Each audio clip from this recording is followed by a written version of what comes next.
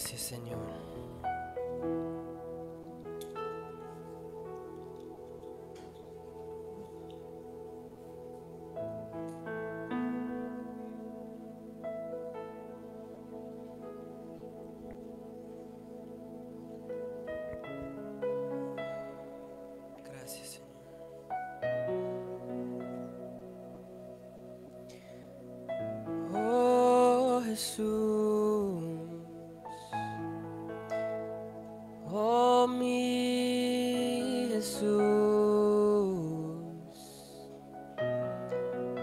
Jesús, Jesús,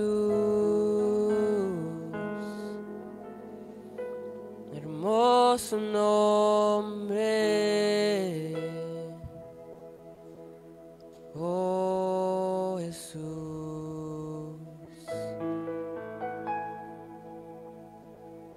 te amamos Jesús, te amamos Jesús, te amamos Jesús. Sea exaltado y glorificado en este lugar y en nuestra vida, Señor. Que cada día, Señor, que caminamos, podemos llevar paso a paso. Gracias Jesús. En el nombre de Jesús. Amén. Y amén. Puede tomar su lugar.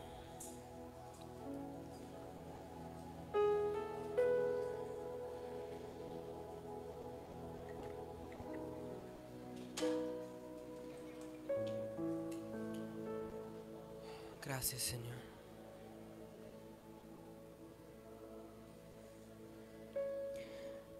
Antes que todo, quiero decir gracias por venir hoy.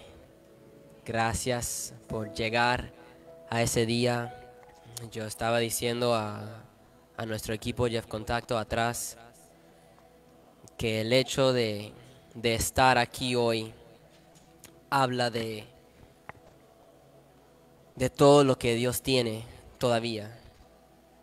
Si, si, lle- si lleguemos a estar aquí hoy por cualquier cosa que ha pasado en la semana, en, en el último mes, últimos meses, y estaba peleando y tal vez luchando, llorando, porque pasa todo, ¿no?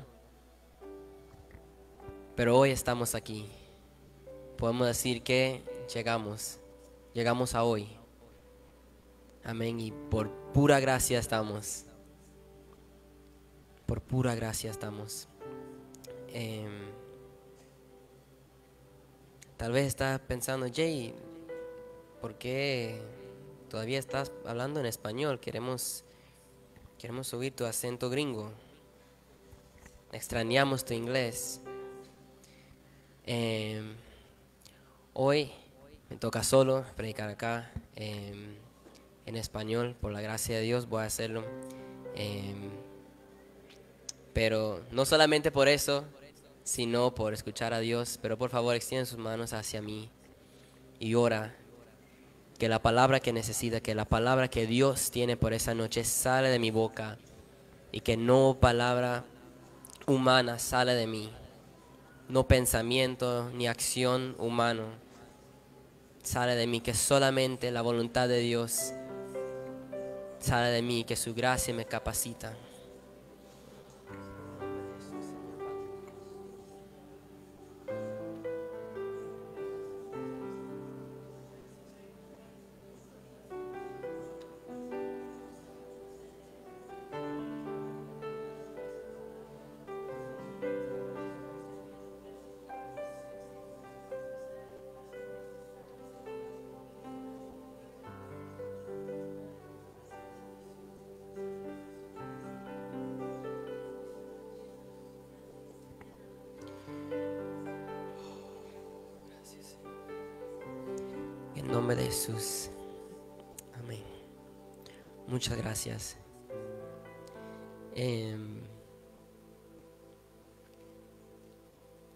Que normalmente cuando uno toca hacer algo, cualquier cosa, no solamente predicar, em, cuando uno es llamado de hacer algo, de servir, o sea, con micrófono, o sea, en la puerta. Claro, uno pide dirección de Dios, Señor, ¿qué quieres de mí?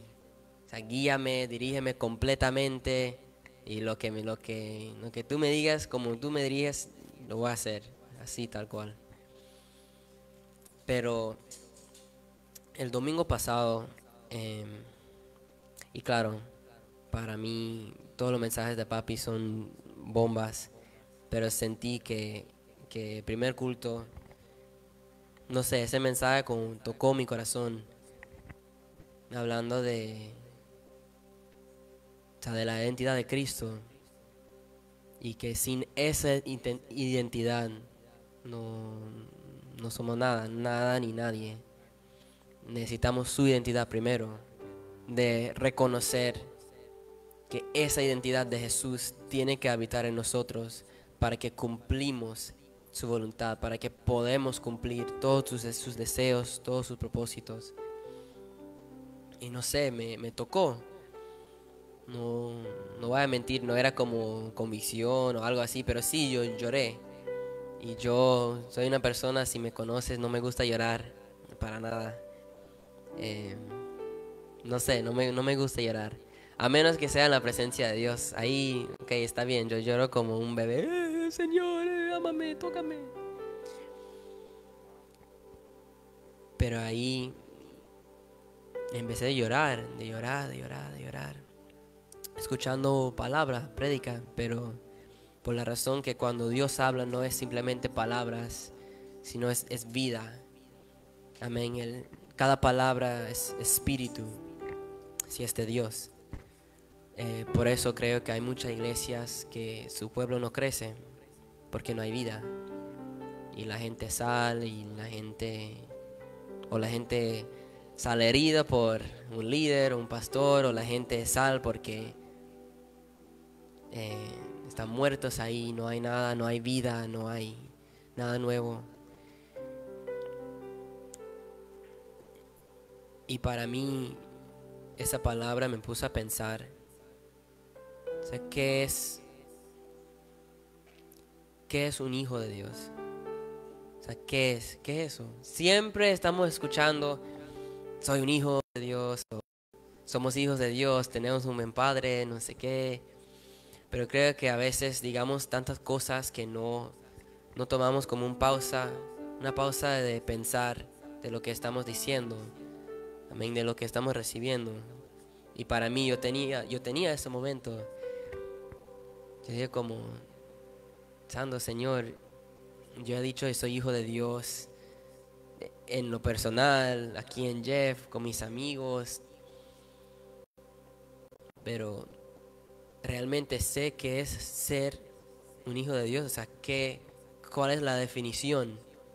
Y no solamente cualquier hijo, ¿cómo puedo ser un hijo de Dios? Sí, porque muchas veces convertimos en hijos de otras cosas y ni damos cuenta. O hijos de otro Dios. O sea, algo o alguien convierta en nuestro Dios. Y ahí nos pongamos en peligro cuando decimos, sí, yo soy un hijo de Dios, pero ¿cuál Dios? ¿Cuál es tu Dios? Y pensando en eso, uno puede pensar, ¿qué tipo de hijo soy? de quién estoy recibiendo, de quién estoy recibiendo mi herencia. Y no sé, me confrontó, confrontó mi corazón y yo, literal, toda la semana yo tenía eso en mente. O sea, hijo de Dios, hijo de Dios.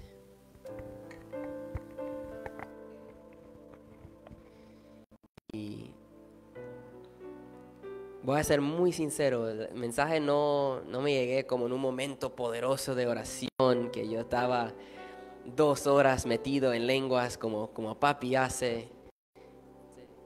Eh, abrí mi corazón.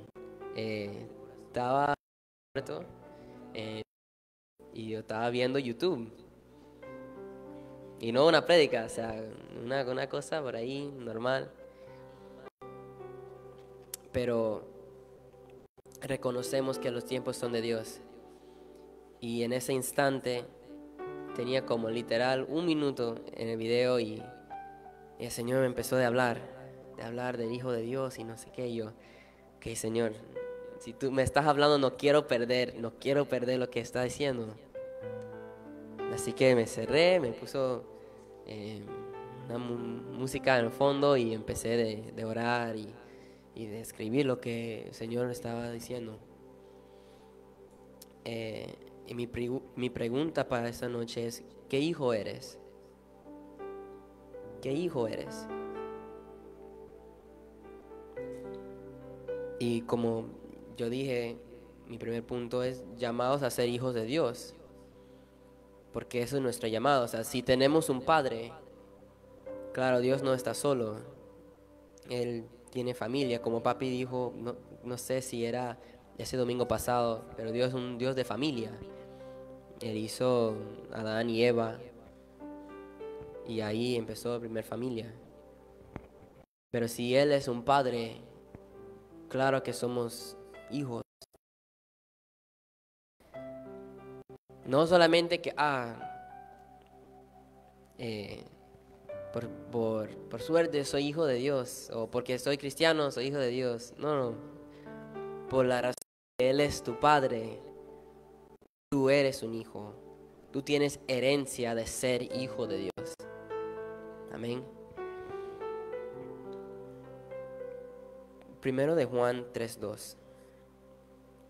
Y yo tengo dos versiones porque como todavía estoy dominando español, no quería meterme ahí en, en lo profundo de la piscina, como, como uno dice. Yo.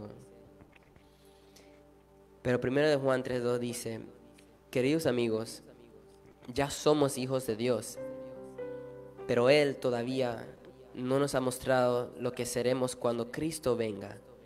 Pero sí sabemos que seremos como Él, porque lo veremos tal como Él es. Somos hijos de Dios. Amén. Levanta la mano conmigo y dice, yo soy hijo de Dios. Ok, gracias. Porque si no entiende eso, Tal vez no va a entender el mensaje y voy a estar aquí hablando. Pero tenemos que saber eso. Y no solamente saber creer que somos hijos de Dios.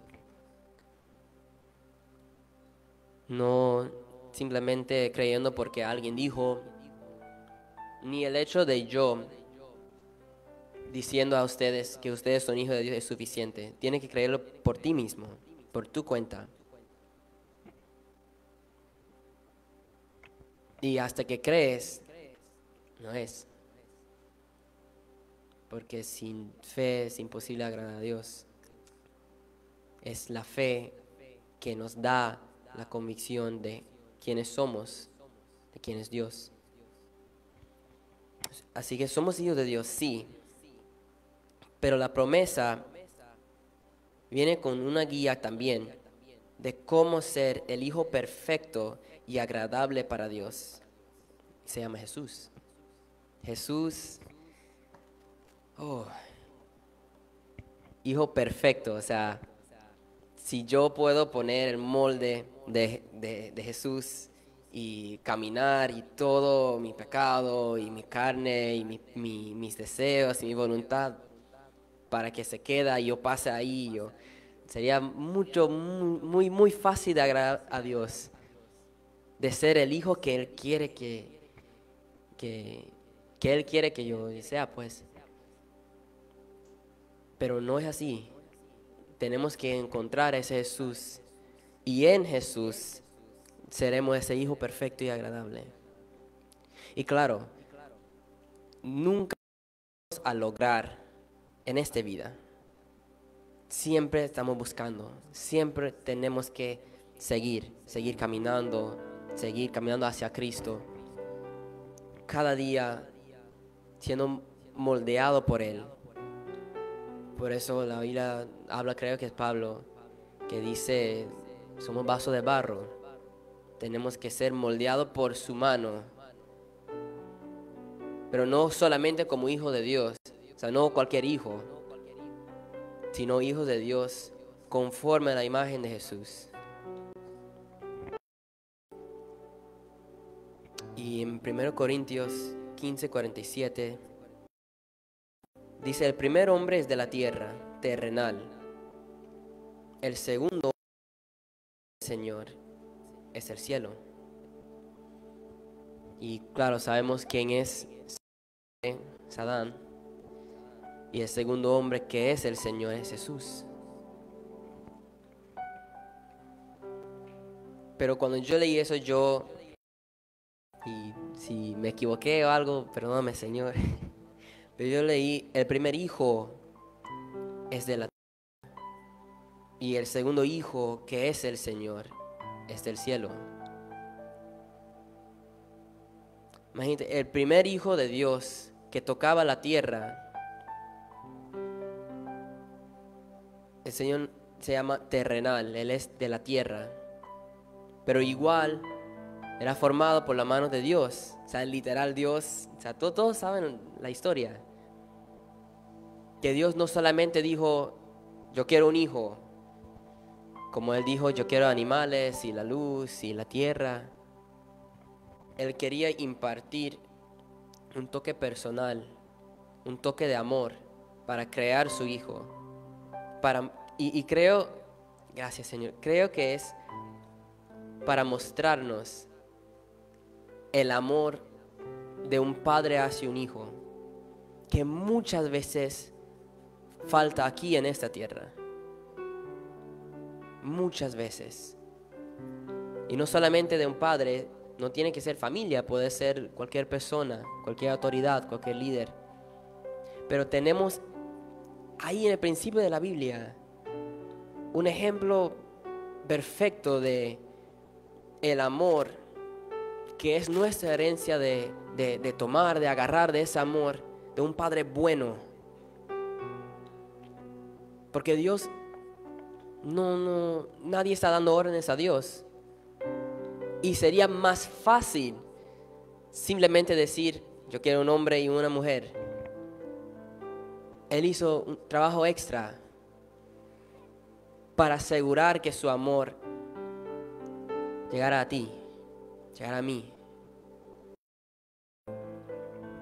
Somos llamados a ser hijos con vidas eternas no hijos que dependen de cosas temporales como las cosas de la tierra, que va y viene día a día, porque la vida eterna permanece, pero solo en Jesús. Hijos de Dios. Pero Jesús, el Hijo, el segundo hijo, segundo hombre, es del cielo. Y el cielo es eterno. Cuando pasamos de esta vida, vimos una vida eternidad con Él, amándole y celebrando en nuestras mansiones de luz y uh. Pero es una vida eterna, que es herencia, pero no herencia por un compañero, no herencia por, por un amigo, por ahí, herencia de un hijo, de un hijo. Nosotros tenemos herencia de todo lo que el Padre nos ha prometido siendo hijos de Dios. Pero no es simplemente ser hijo, no es simplemente, ah, ok, eh, yo soy salvo, gracias a Dios, yo no, voy yo no voy al infierno, yo voy al cielo, tranquilo, yo voy a vivir mi vida normal, yo soy un cristiano normal, eso, esa frase es, me da algo, de verdad, me da algo, por favor no me digas eso.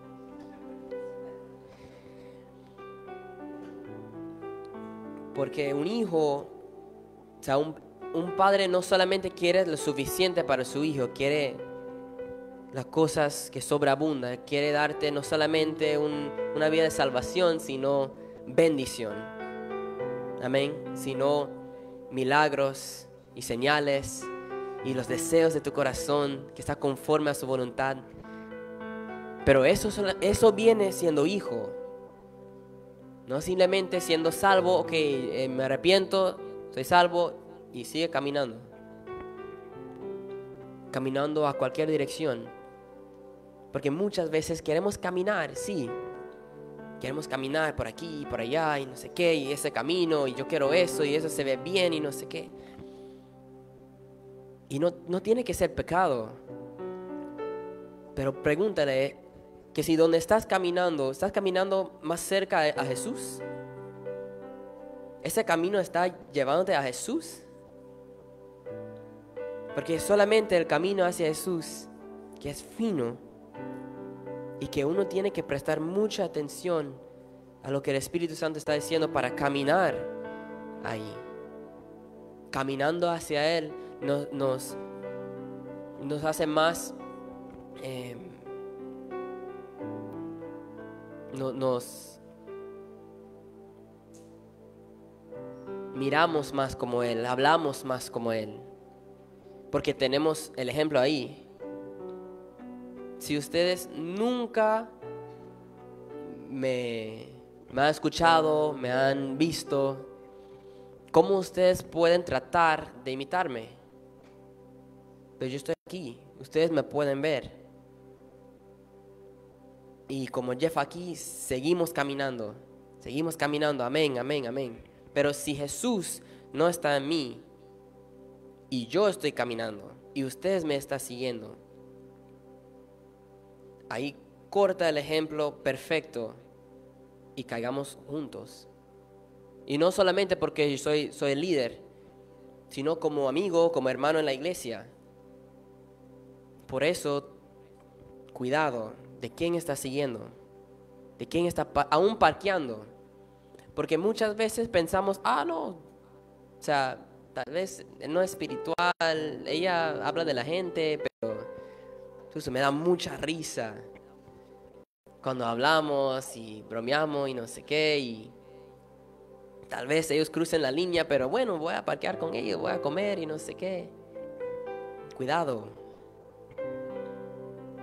Recuerda el ejemplo, ok, Jesús está aquí entre nosotros.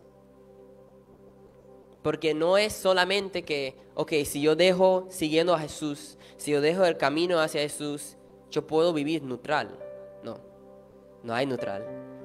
La Biblia dice que esta vida es, todas las cosas son o negro o blanco. Me atreve a decir que si no estás caminando hacia Jesús, estás caminando en la dirección opuesta. Y ahí te pones en peligro. No solamente de ser hijo de Dios, te pone en peligro tu salvación. Porque tenemos que seguir buscando a Cristo, seguir mirando ese ejemplo. Juan 12, 49 a 50. Yo no hablo con autoridad propia. El Padre que me envió me ha ordenado que decir y cómo decirlo. Y sé que sus mandatos llevan a la vida eterna. Por eso digo todo lo que el Padre me indica que diga. Jesús no tenía un Jesús, se tenía el Padre. Su, trabajo era, me atrevo a decir, su, su trabajo era un poquito más difícil. Él no tenía ah, bueno, yo pido la sangre de Cristo. No, no, no. Él era Cristo. Él no va a pedir su propia sangre. Pero Él sabía y sé que sus mandatos llevan a la vida eterna, siendo hijo, como el Hijo de Dios. Y estaba escuchando al Padre todos los días. No había nada, nada que él hizo que no primero fue oído de la voz del Padre. Yo estaba hablando con nuestro amado Marcos, creo que era miércoles, y estábamos hablando de eso. O sea, Jesús estaba en completamente obediencia, él estaba sometido completamente, Señor. Y yo le dije, creo que aún los lugares que él fue a comer, claro, él tenía que comer. Eh, me imagino que él no estaba comiendo McDonald's todos los días como yo, pero creo que aún a comer, aún a parquear, primero en la mañana en sus oraciones donde él recibió dirección, Señor, tú me, tú me vas a guiar, tú vas a guiar mis pasos, aún los pasos que no están dentro de servicio o dentro de iglesia, sino toda mi vida, todo lo que hago. Porque no es simplemente, ok, yo soy hijo de Dios aquí en la iglesia, pero en la calle es hijo del diablo. No funciona así. O eres hijo de Dios, o eres hijo de este mundo, el hijo terrenal. Y muchas veces ese hijo, ese camino hacia el hijo terrenal se ve bien, se ve bien. Pero es temporal. Puedes llegar hasta cierto punto. No hay eternidad siendo un hijo de este mundo. Hasta cierto punto llegas. Aún en las cosas buenas. Hasta cierto punto llegas puedo estar trabajando en un trabajo bueno que te paga bien y no sé qué, pero si no está en la voluntad de Dios, tú vas a llegar hasta cierto punto.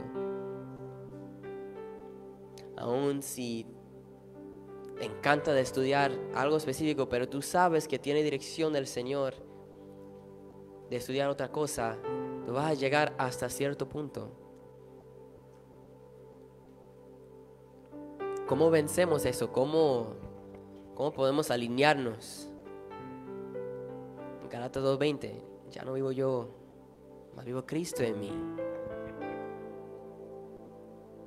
Pero si no tenemos, repito, ese ejemplo ahí frente a nosotros, ahí hablando en nuestro oído, entonces ya vivo yo. Porque, ¿qué ejemplo tengo? Si Jesús no está ahí, no va a ser un vacío, el diablo no va a respetar, ah, ok, ella está cansada hoy. Así que va a dejarla ahí neutral, flotando ahí. No, no, no. Va a poner cosas. Sigue esto, sigue el otro. Y muchas veces no son las cosas tan obvias. O sea, el diablo no va a poner una botella de licor aquí cuando no estoy mirando a Jesús y, hey, toma, ya, dale. O sea, yo sabe que, no voy, a, no voy a tomar eso, eso está mal, pecado, no, no quiero. Pero cosas sutiles, las cosas sutiles, pasa así. No siempre están en luces que está aquí, como esas luces, sino una línea muy pequeña y porque nuestros ojos no están en Jesús, seguimos esa línea de, hey, ¿eso qué es? Y la curiosidad empieza a crecer. Y volvemos a Jesús. No, no, no, Jesús en ti, en ti, pero tenemos un ojo como, no puedo hacerlo, pero como un camaleón, como un ojo a Jesús y un ojo a la otra cosa.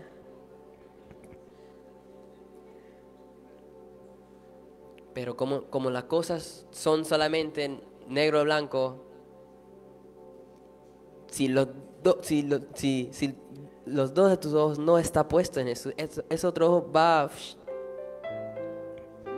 y ahí te vas, te caigas en un camino que no fue dado por Dios. Un hijo no puede reconocer la voz de su padre es un huérfano.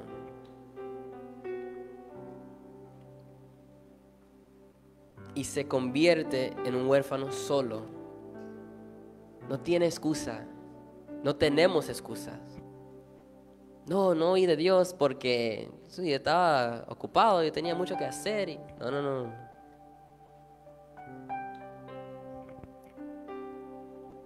Porque cuando escuchamos de nuestro Padre, ahí Él da los órdenes, Él, él sabe nuestro paso, Él sabe, Él es, man, Él es el principio y el fin. Y pensamos que podemos darnos órdenes a nosotros mismos cuando ni sabemos qué va a pasar en, en el siguiente minuto. Y ahí dejamos a Dios, dejamos a nuestro Padre en un sentido y amor y salimos y fuera de eso, fuera del Padre, ahí me convierto en un huérfano, yo solo. Yo no puedo llorar, ah, ayúdame, hermano, ora por mí, no sé qué. No. Jadniel no va a asegurar mi herencia como hijo de Dios. Él no puede. Esa responsabilidad me toca a mí. Solamente. Yo no sé de ti, yo no quiero ser huérfano. Cuando Dios nos ha dado un espíritu, la, capacidad, el privilegio de ser su hijo. No solamente su creación. O sea, un perro, un, león, un, ojo, no, un, oso no puede ser hijo de Dios. Pero por el amor que Dios tiene por nosotros, que podemos ver desde el principio del tiempo en Génesis, podemos ver que no simplemente podemos ser hijos de Dios, Él quiere que seamos sus hijos. Él nos quiere, Él te quiere. Está diciendo, ven, ven a mí, ven a mí, cuando Él ve que tú estás caminando por allá. Pero por el, responsable que Él es, por el justo que es nuestro Dios, Él no va a salir de, de ese círculo de que Él es. Él no puede extender cuando tú no quieres estar. Y sí, no estoy negando la gracia, no estoy negando misericordia. No estoy diciendo que eso corta el amor que Dios tiene para ti. Pero ¿por qué hacemos el trabajo de Dios más difícil? Cuando Él simplemente quiere amar a su hijo. O sea, piensa en eso, Él solamente quiere amarnos. Aún con las cosas que Él pide de nosotros, es para darnos algo mayor, mejor. Y todo fundado en amor. Y hacemos su trabajo más difícil. Que Él tiene que extender más para, cuando hay un lugar seguro, bajo su paternidad.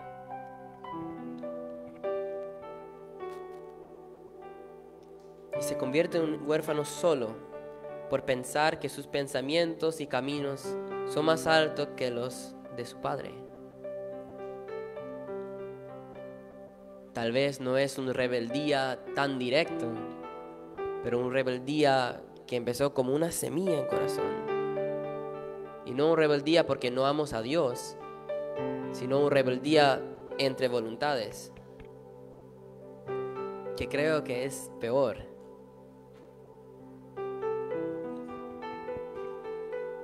Isaías 55, versos 8 y 9. Mis pensamientos no se parecen en nada a sus pensamientos, dice el Señor, y mis caminos están muy por encima de lo que pudieran imaginarse. Pues así como los cielos están más altos que sus caminos, y mis pensamientos más altos que sus pensamientos, mucho más altos. No solamente limpia mi corazón, no sé qué. Señor, dame pensamientos como un hijo. Déjame, por favor, capacítame, abre mi mente para que puedo tener, para que puedo pensar, no como creación de esta tierra, sino como un hijo tuyo. Tenemos que cambiar nuestra mentalidad. No podemos estar tan terco que no, solamente lo que, lo que yo quiero, lo que yo veo. Cuando hay cosas más allá, cuando hay un llamado de hijo esperándote. Mi segundo punto es, o hijo Adán o hijo Jesús. Los dos fueron primogénitos. Adán, primer hijo que tocaba esa tierra, que estaba aquí y Jesús, que fue nacido por el Espíritu. Caemos en, caemos en uno de esos dos hijos, nos convertimos en uno de esos dos hijos. ¿Cierto? Porque hay el hijo terrenal y el hijo del cielo. Y el hijo Adán tiene una fecha de expiración. Porque la vida que él está buscando es para él. La vida de Jesucristo es una vida eterna. Porque la vida de Jesús, la vida que Jesús busca es una vida para el Padre. Adán estaba buscando lo que él puede ganar, lo que él completamente enfocado en la bendición de Dios, pero en la bendición de Dios para él. Y como todo, como cada cosa en esta tierra va a pasar, también ese estilo de vida o siendo ese tipo de hijo hijo Adán nos lleva hasta cierto punto, hasta, hasta un día donde ya tenemos que enfrentar a Dios y mostrar todas las cosas terrenales que, que hicimos, que tenemos. Y a Jesús nos va a recordar que el Padre ya no está buscando hijo Adán, buscando hijo Jesús. Y podemos ver las decisiones de los dos hijos, de los dos, que tenían la misma oportunidad de estar aquí en la tierra para cumplir la voluntad del Padre. Eh, voy a leer tres versos rapidito. Eh, Génesis 3:6, y vio la mujer que el árbol era bueno para comer y que era agradable a los ojos y árbol codiciable para alcanzar la sabiduría y tomó de su fruto y comió y dio también a su marido el cual comió así como ella. Pausa. Ahí tenemos decisión de Adán hombres, no dice que no, fue la mujer, no sé qué, se engañó todos los hombres y por eso culpa, no, no, no. El Padre nos dio voluntad propia. Siempre podemos decidir sí o no. Siempre. No fue que era obligado, que, Eva lo tenía así, que coma fruto. Eh. No, el, eh, Eva dijo, hey, está rico, esa mandarina está rico. Toma, toma, prueba, prueba, está rico. Mm.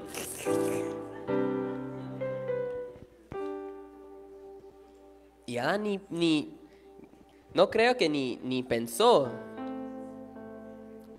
Porque el tiempo que pasó entre ella ofreciendo la fruta y Adán tomando y comiendo fue así. No creo que ni pensó. Le digo, como nosotros muchas, muchas veces cuando enfrentamos con una situación y alguien está ahí, hey, eso, bueno. No tiene que levantar la mano, pero ¿cuántos ha sido así, diciendo eso? Mm, sin pensar, pero bueno. Y tomamos algo que no nos conviene que nos pone en peligro y que nos lleva al, a ser hijo de Adán. Entonces, los dos tenían decisiones, Adán y Jesús. Y ahora vemos la vida de Jesús, que es, man, Jesús era fuerte. Él era fuerte, no. O sea, viendo la historia de Jesús, como crece mi necesidad por Él, como si yo necesito esa fuerza, como Él hizo. Mateo 4:10. Entonces Jesús le dijo, vete Satanás, porque escrito está, al Señor tu Dios adorarás y a Él solo servirás. Eh, ahí Jesús estaba tentado, no solamente una vez, tres veces, con hambre estaba ayunando. Y Satanás, hey, toma eso, toma el otro. La misma cuenta. Ojo, la misma cuenta, la misma trampa. La misma trampa igual. Satanás ofreciendo eso, lo otro, se ve bien, va a tener todo, no sé qué. Y la respuesta de Jesús no era decir, eh, ¿por qué? O eh, Satanás, es que no puedo. No, no, él no entró en conversación con él. Él ni, ni le dio a sí mismo chance para el diablo a convencerlo de hacer algo que fuera de la voluntad del Padre. Él lo cortó así. Entonces Jesús le dijo, vete Satanás, porque escrito está, el Señor tu Dios adorarás y a Él solo servirás. Así y ya, punto. No más conversación. Porque Él reconoció que es de ser un hijo de Dios. Y no solamente eso, Él quería ser hijo de Dios porque él conoció quién era su padre. Pero Jesús no solamente fue tentado ahí. No, no, no, no, no. En toda su vida. Pero voy a dar un, un ejemplo más. El ejemplo más fuerte que muchas veces, creo que cada día nos encontramos en ese lugar. Mateo 26, 39. Yendo un poco adelante, se postró sobre su rostro, orando y diciendo, Padre mío, Padre mío, si es posible, pase de mí esta copa, pero no sea como yo quiero, sino como tú. Y es ahí donde no queremos ser hijos, Jesús. Ahí queremos volver a la terrenal. Porque ya no está pidiendo,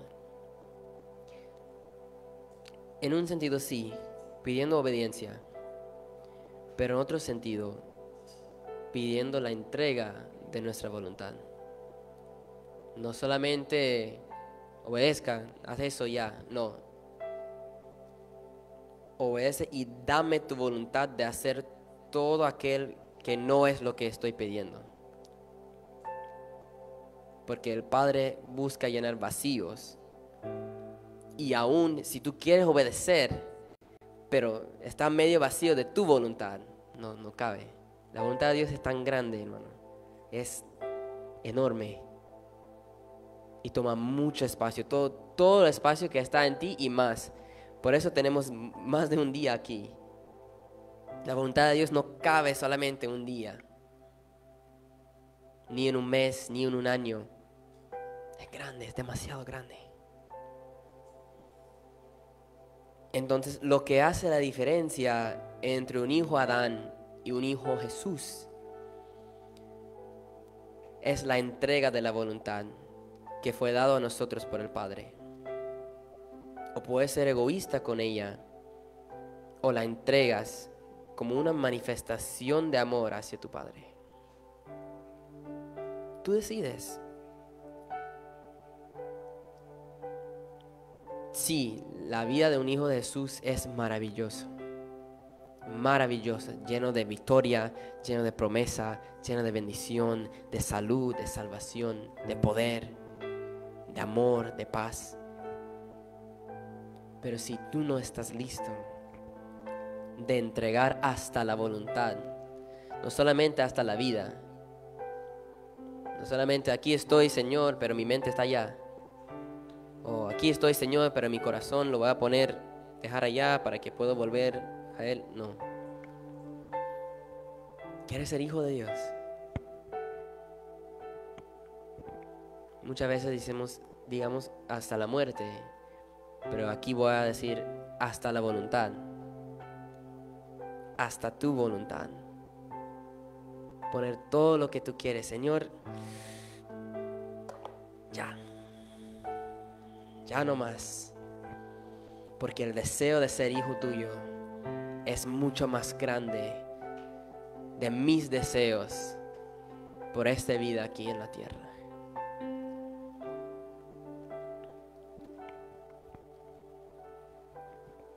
Y cuando tomamos esa decisión, mira lo que pasa. Porque se suena como, no sé, como, uno tiene miedo escuchando eso. Si yo estuve ahí y alguien me estaba diciendo eso, yo, yo no, no quiero.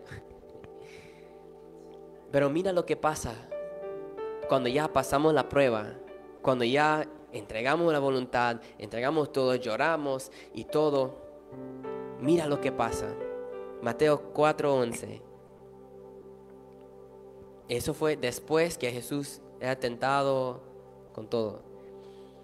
Entonces el diablo se fue y llegaron ángeles a cuidar a Jesús.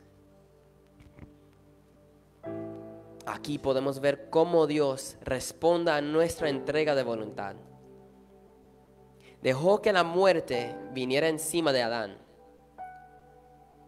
pero le dio la victoria sobre la muerte al Hijo que dio todo su ser hasta la muerte. No era que, ok, yo voy a dar todo y me quedo solo. No, cuando el Padre vio, cuando el Padre recibió la voluntad, mandó provisión. Donde tú necesitas o donde tú estás esperando tu punto de quiebra, en inglés, your breakthrough, donde tú estás esperando eso, pregúntale que si has dado tu voluntad. Y si no es dado a ti, amigo, eh, amiga, no es la voluntad de Dios. Sigue, pero sigue caminando.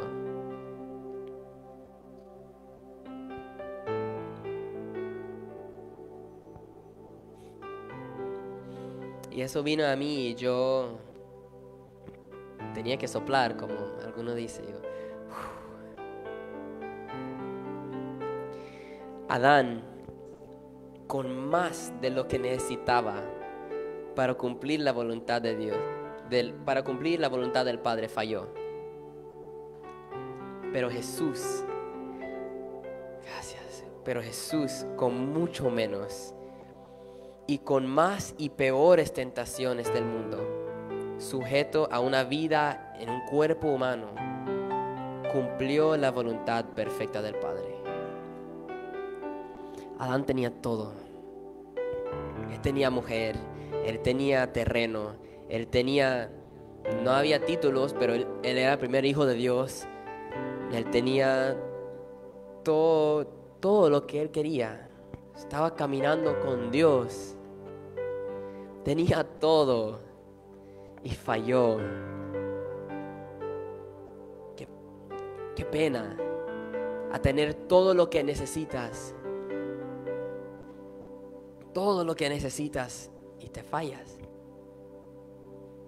Cuando Dios ya te ha entregado todo a Él, todo, tú vas a reinar sobre todas las bestias y sobre todos los peces y las águilas y todo. Sobre toda esa tierra tú vas a reinar. Y no vas a estar sola, ahí está alguien para ayudarte, para cuidarte, para asegurar que no vuelva loco. Él tenía todo, todo, y falló. Su propósito era reinar sobre la tierra y falló. O sea, pero Jesús no estaba allí. La vida de Jesús era muy fuerte, muy difícil hasta muerte en una cruz. Y de una manera, Él cumplió la voluntad del Padre. Él murió a 33 años, ¿no? Tener una familia. Porque el hecho de ser un hijo de Dios era más importante de cumplir la voluntad de su Padre era más importante.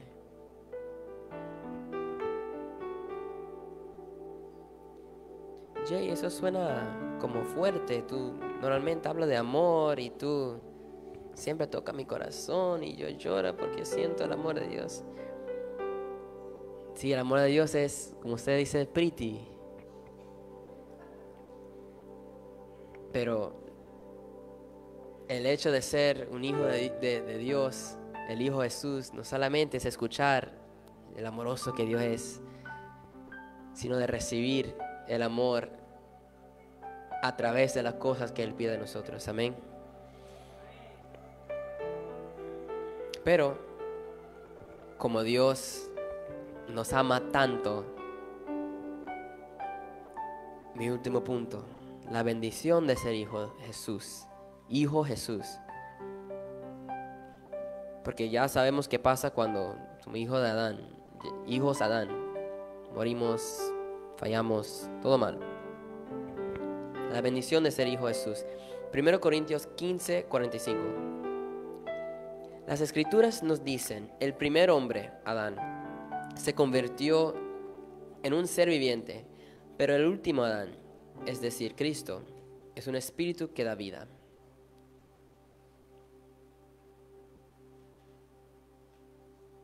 Como somos llamados a ser hijos de Dios, con el ejemplo de Jesús, gracias a Dios por ese ejemplo, con el ejemplo de Jesús, somos llamados a ser gente que da vida por el espíritu de vida que carga Jesús, quien habita en el trono de nuestro corazón.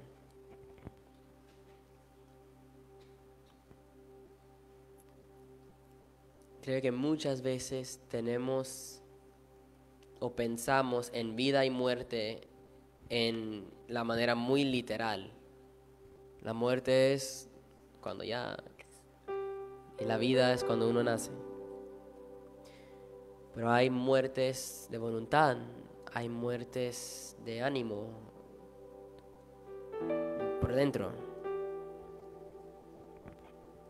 Pero como somos llamados a ser hijos de Dios, una de las bendiciones que tenemos, tenemos la capacidad de ser gente que da vida a otros. Vida puede ser amor, una sonrisa, un abrazo. Pero si carga a Jesús y si, y si conoce que tú eres un hijo Jesús, no solamente puede recibir vida, sino dar vida. El Señor me está tratando mucho de ser bendición, de ser bendición. Es un deseo profundo en mí muy, muy profundo, muy fuerte y yo pido, Señor, yo, hazme de bendición, hazme de bendición, hazme de bendición. ¿Y cómo puedo ser de bendición? Dando vida a los que no tienen. Salvando gente. Y no solamente de los calles, sí. Ellos necesitan Jesús, sí. Pero aún dentro de la iglesia hay gente que está muriendo por falta de vida, por heridas. No, de pecadores de, la calle, sino heridas de otros hermanos dentro de la iglesia. No podemos esperar que papi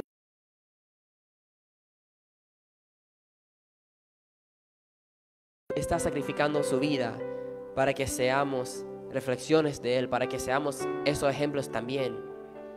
No que siempre estamos esperando a alguien, pegado a alguien. No, necesito vida, voy a, Jay, a Jessica. No, tú mismo puedes cargar vida si cargas a Jesús. Juan 1:4 En él estaba la vida, y la vida era la luz de los hombres. Solo la vida de Cristo trae luz a nosotros o mejor dicho, su vida en nosotros es nuestra luz. Porque no hay, no hay luz donde hay muerte, no hay. Seis pies debajo de tierra no hay luz por ningún lado. Pero donde hay vida hay luz. Y tenemos, podemos tener esa luz de Jesús en nosotros. Y es, gracias Señor, y es a través de esa luz, es a través de, como Jessica predicó la semana pasada, cuando la gente nos ve brillando, ellos ven dónde está vida. Yo no sé por dónde andar, yo no sé con quién puedo confiar, pero yo veo que, que ella, que él está brillando. Y yo voy para allá. Y cuando alguien está brillando con la luz de Jesús, esa persona va a encontrar vida. La vida de Jesucristo. Estoy por terminar. Ven conmigo a Génesis 3, 17. Y al hombre le dijo, eso es Dios hablando a Adán y Eva, dado que hiciste caso a tu esposa y comiste del fruto del árbol del que te ordené que no comerías, la tierra es maldita por tu culpa. Toda tu vida lucharás para poder vivir de ella. Eso es lo que Dios Padre da a un hijo Adán. No solamente va a poner la vida difícil por un momento, por una temporada. No, dice simplemente por no hacer, por no cumplir la única cosa que Dios pidió, la tierra es maldita por tu culpa contaminó la tierra y toda su descendencia por no obedecer a Dios, por no, por no ser un hijo que obedeció a su padre. Y me atrevo a decir amar a su padre. Porque el que tú amas, tú obedezcas.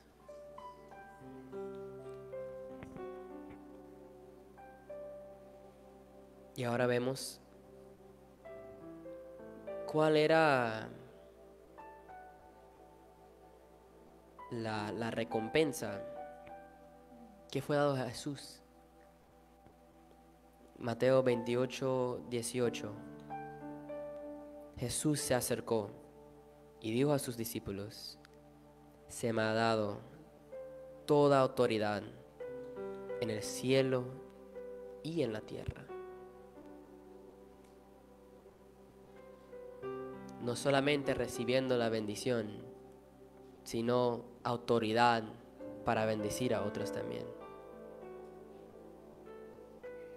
Por eso no hay nada imposible por Jesús. Porque Él vivió su vida como un hijo de Dios, recto, completo, sometido hasta la muerte, hasta la voluntad. por amar a Dios más que su propia vida, el Padre dio a su Hijo todo. Pero por amarse a sí mismo más que a Dios, el Padre quitó todo de su Hijo. Adán no quedaba con nada, murió.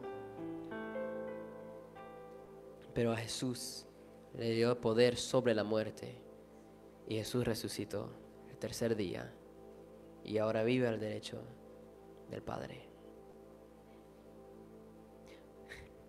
Por ser un bien hijo acá, en la tierra, Él fue dado un puesto al lado de su Padre. El privilegio y el honor de estar más cerca a su Creador. Y no por sus méritos, no porque predicaba bien, porque cagaba bien con la gente, porque ayunó todos los días y no, por ser hijo de Dios.